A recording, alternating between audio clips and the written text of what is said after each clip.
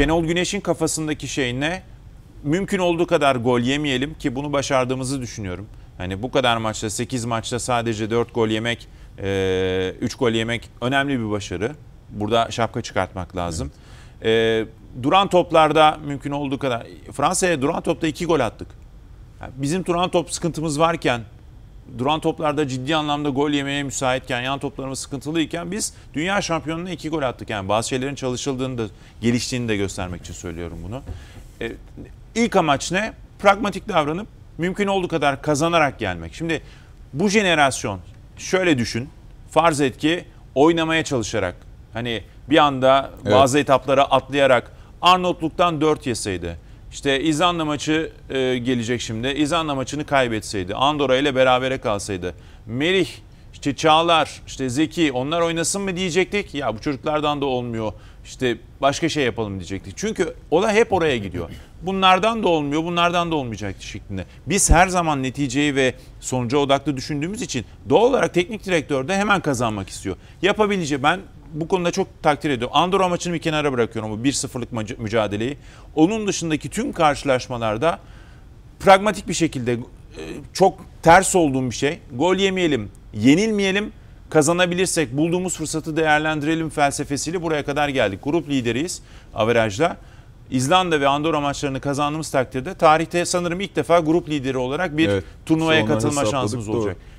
Şimdi e, oyun açısından gelişmek için bu oyuncuların birlikte oynaması lazım. Cengiz çok uzun süredir yok. Belki de en önemli kozumuz. Burak Yılmaz artık belirli bir yaşa geldi ve çok ağır bir sakatlıktan çıktı. Yani e, toparlaması çok güç. E, Cenk Tosun kendi takımında forma giymiyor.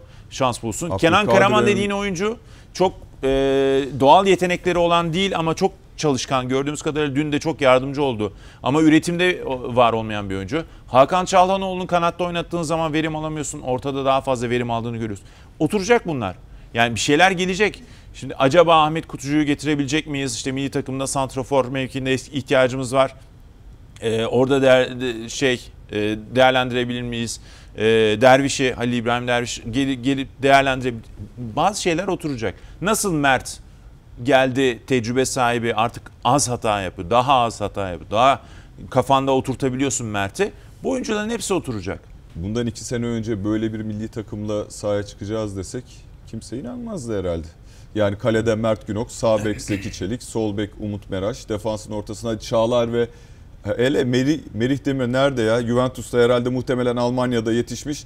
Juventus'a da öyle transfer olmuş diye düşünürdük. Eğer ya yabancı, Mahmut İrfan yabancı kısıtlaması olsaydı muhtemelen Merih Demiral Fenerbahçe'nin altyapısında e, altyapısından gelmiş ya elimizde stoper verken tutalım denilen ve Jailson'un yedeği olan bir oyuncu olacaktı.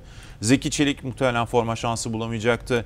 Ee, başka yerlerde oynamaya çalışacaktı ya da bir yerde yedek oyuncu olacaktı. Değerli olacaktı ve yüksek para alacaktı. O yüzden Lille gitmeyi kabul etmeyecekti. Umut Bursa Spor'dan Le Havre'a gitmeyi kabul, etmeyecekti. Ee, bunların sorununu yaşayacaktık. Şimdi çok e, saçma sapan tartışmalar var Türk futbolunda. Bence bu tartışmalardan ziyade olumlu noktayı görmek lazım. İkiye bölmek gerekiyor dedim. Birincisi bu tür takımlara karşı yani bizden kadro, kadro derinliği ve kalitesi yüksek olan takımlara karşı bizim kaybetmemeyi ya da çok e, çok rahat teslim olmamayı, çok rahat pes etmemeyi öğrenmemiz gerekiyordu. Bunu yapabileceğimizi gördük. Şimdi bizim öbür tarafı da halletmemiz lazım. Nasıl komple bir takım olabiliriz? Nasıl her sorun, her takıma karşı sorun üretebiliriz? İşte Arnavutluk gibi daha çok daha güçlü.